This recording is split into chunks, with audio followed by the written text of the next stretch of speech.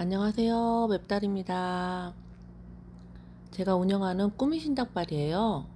제가 지금 오픈 전에 저희 가게가 어떻게 생겼나 소개시켜 드릴게요.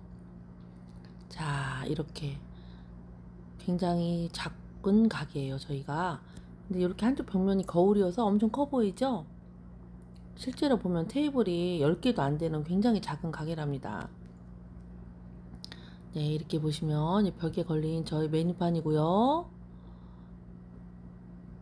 옆에 보시면 이건 제가 그린 그림이에요. 이건 제가 그린 거예요, 이거. 저 위에 보시면 방문회 간 연예인들 사진 사인이 있고요. 저 위에 그림도 제가 그린 겁니다. 취미가 그림 그리기예요. 네, 여기 보면 드로잉으로 저희 가게를 가게 외관을 제가 좀 그려놓은 게 있어요. 네. 이렇게 골목을 다 보여주게 바깥에도 통유리가 되어 있고 저기도 제가 그린 그림이 있네요. 자, 이거 샐러드 바고요.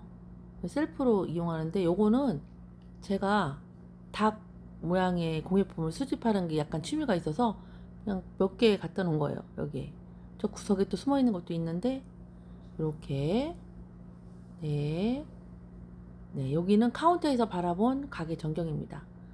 거울이 있어서 커 보이지만 굉장히 작고 아담한 가게입니다. 네, 많이 찾아주십시오. 감사합니다.